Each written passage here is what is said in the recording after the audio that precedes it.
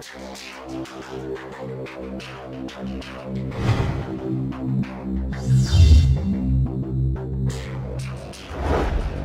ប្រភេទចំនួនទី2គឺ local business local business គឺជាចំនួនផ្ដាច់មុខទំនិញលក្ខណៈទិញកម្មសិទ្ធិបញ្ញាផ្ដាច់មុខទំនិញឆ្លងប្រទេសពីប្រទេសមួយទៅប្រទេសមួយឬក៏ឆ្លងចូលមកក្នុងប្រទេសរបស់ខ្លួនដោយផ្ដាច់មុខឧទាហរណ៍ថាឆ្លងចូលមកដល់ប្រទេសកម្ពុជាគឺផ្ដាច់មុខនៅក្នុងប្រទេសកម្ពុជាហ្នឹងគឺមានតែគាត់ទេដែលមានសិទ្ធិនាំមុខទំនិញឈ្មោះនឹង trademark នឹងមកអញ្ចឹងការដែលគាត់ឡើងទៅក្រៅប្រទេសគាត់នាំទំនិញចូលមកក្នុងប្រទេសកម្ពុជាយើងគឺគាត់ផ្ដាច់មុខនៅក្នុងប្រទេសកម្ពុជាអញ្ចឹងចង់បើកក្រុមហ៊ុនមួយចង់រកស៊ីជាលក្ខណៈ local business ផ្ដាច់មុខនៅក្នុងប្រទេសមួយគាត់ទៅរត់បើកបញ្ជីក្រុមហ៊ុនដែលគាត់ត្រូវធ្វើមុនគេមកអស់គឺគាត់ត្រូវទៅរត់បើកបញ្ជីក្រុមហ៊ុនចូលទៅដល់ក្រសួងពាណិជ្ជកម្មគាត់ត្រូវពិនិត្យនាមបកឈ្មោះក្រុមហ៊ុនបើមានជាន់គេមិនអនុញ្ញាតទេ បើមិនជាន់គេអនុញ្ញាតបន្ទាប់មកទៀតចុះបញ្ជីបើកនាមបកដែលគាត់ពេញចិត្តហើយមិនជាន់មានន័យថាអត់ទាន់មានឈ្មោះក្រុមហ៊ុននឹងទេហើយគាត់ត្រូវរត់ឯកសារនៅក្នុងក្រសួងពាណិជ្ជកម្មមានរយៈពេលប្រហែលប្រមាណជា2សប្តាហ៍រាប់ថ្ងៃធ្វើការទើបបានចេញអាជ្ញាប័ណ្ណក្រុមហ៊ុនមកហើយក៏ត្រូវយកឯកសារទាំងអស់ហ្នឹងយកទៅតម្កល់នៅពន្ធដារជាតិដើម្បីបើកបតង់បើគាត់នៅភ្នំពេញគាត់បើកនៅភ្នំពេញហើយគាត់ទៅរត់នៅពន្ធដារជាតិដែលក្រសួងពាណិជ្ជកម្មឥឡូវនេះគឺមាននៅទីតាំងនៅផ្លូវសហព័ន្ធរុស្ស៊ីផ្លូវទៅពុយតុងបាទដែលនៅម្ដុំហួសអឺ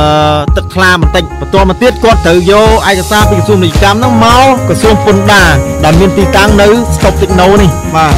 នៅពន្ធដារជាតិបាទដើម្បីបើកបតង់បន្ទាប់មកទៀតគាត់ត្រូវនាំផលិតផលនាំឈ្មោះផលិតផលយកទៅចុះ trademark នៅក្នុងក្រសួងពាណិជ្ជកម្មដើម្បីបញ្ជាក់ពីកម្មសិទ្ធិបញ្ញាពិសេស franchising ដើម្បីផ្ដាច់មុខទំនិញស្របច្បាប់នៅក្នុងប្រទេសកម្ពុជាយើងអញ្ចឹងអ្នកដទៃទៀតចង់នាំទំនិញដែលជាន់ឈ្មោះរបស់យើងចូលមកគឺខុសច្បាប់អញ្ចឹងយើងអាចប្តឹងបាន ហើយទៅរត់ច្បាប់បន្ថែម ទៅលើក្រសួងដែលពាក់ព័ន្ធទៅតាមប្រភេទទំនិញខ្ញុំឧទាហរណ៍ថាបើសិនជាទំនិញដូចជាអាហារបំពន់ឬក៏គ្រឿងសម្អាងឬក៏របស់ហូបចុករបស់ប្រើប្រាស់មួយចំនួនដែលពាក់ព័ន្ធមួយវិស័យសុខភាពអញ្ចឹងអញ្ចឹងទោះបីជាអាហារបំពន់ក្តីថ្នាំពេទ្យក្តីបរិខាពេទ្យគ្រឿងសម្អាងរបស់ហូបចុកវិចខ្ចប់កាយឆ្នៃពាក់កណ្ដាលសម្រាប់ផលិតផលសម្រាប់ពីក្រៅមកក្តីឲ្យតែពាក់ព័ន្ធនឹងផ្នែកសុខភាពអញ្ចឹងគាត់ត្រូវទៅរត់ច្បាប់នៅក្រសួងសុខាភិបាលបន្ថែមទៀតចូលទៅដល់ក្នុងក្រសួងសុខាភិបាលមានច្រើននយោបាយកឋានទៅទៀតមាននយោបាយកឋានគ្រប់គ្រងចំណីអាហារនិងឱសថអញ្ចឹងចូលទៅគេត្រូវត្រួតពិនិត្យទៅលើឯកសារ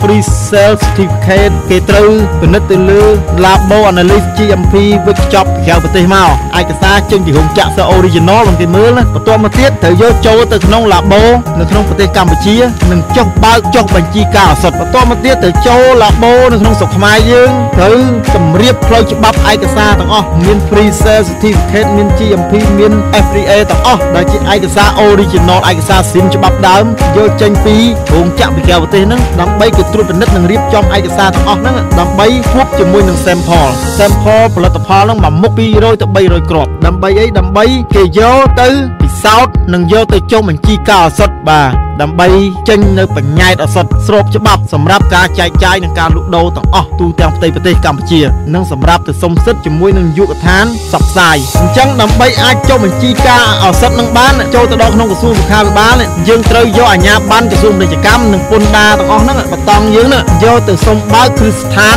ឱសថដែលបើកគ្រឹះស្ថានឱសថហ្នឹងយើងជាម្ចាស់ទុនជាម្ចាស់ក្រុមហ៊ុនត្រូវតែជួលឱសថការីកម្រិតឧត្តមដើម្បីការពារនិងទទួលខុសត្រូវចំពោះមុខច្បាប់ទៅលើឱសថពេទ្យក្តីអាហារបំពន់ក្តីគ្រឿងសម្អាងក្តីគ្រឿងបរិក្ខារពេទ្យក្តីនិងរបស់ហូបចុកផ្សេងផ្សេងក្តីដែលត្រូវធ្វើឲ្យស្របច្បាប់ហើយនៅពេលដែលបានស្របច្បាប់បានបញ្ជីការឱសថហើយទើបទៅសុំនៅនាយកដ្ឋានផ្សព្វផ្សាយនៅក្នុងនាយកដ្ឋានមួយនៅក្នុងក្រសួងសុខាភិបាល ដើម្បីបានសិទ្ធិផ្សព្វផ្សាយបោះត្រាចេញពីក្រសួងសុខាភិបាលយកទៅជូនក្រសួងព័ត៌មានអញ្ចឹងគឺមានការតាក់ទងគ្នារដឹកអញ្ចឹងពីក្រសួងមួយទៅក្រសួងមួយពីស្ថាប័នមួយទៅស្ថាប័នមួយហើយការរត់ច្បាប់នេះខ្ញុំទទួលស្គាល់នៅក្នុងប្រទេសកម្ពុជាយើង នៅមានភាពស្មុគស្មាញហើយនៅមានលក្ខណៈចូលស្ទង់តាមបទចូលស្រុកតាមប្រទេសតែខ្ញុំសូមមិននិយាយជ្រៅទៅក្នុងចំណុចនេះទេខ្ញុំ បើកក្រុមហ៊ុនច្រើនឲ្យបរទេសហើយខ្ញុំបើកក្រុមហ៊ុនខ្លួនឯងក៏បានច្រើនមកហើយអញ្ចឹងបទពិសោធន៍មានច្រើនហើយស្គាល់មនុស្សជាច្រើននៅក្នុងក្រសួង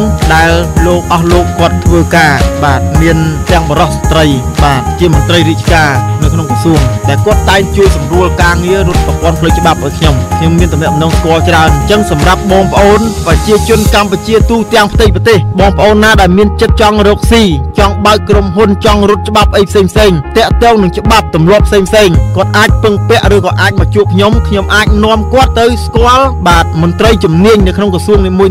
ដើម្បីសម្រួលប្រព័ន្ធផ្លូវច្បាប់នៃការរត់ច្បាប់រត់បើកអាជីវកម្មអីទាំងអស់ហ្នឹងដើម្បីឲ្យបានរលូននិងមានការលឿនរហ័សទៅតាមប្រភេទនៃចំនួននីមួយៗ ដែលគាត់អាចតាក់ទងមកលេខទូរស័ព្ទរបស់ខ្ញុំផ្ទាល់069ការ៉េ375 095ការ៉េ375 08825ដើម51 095 086ការ៉េ2 57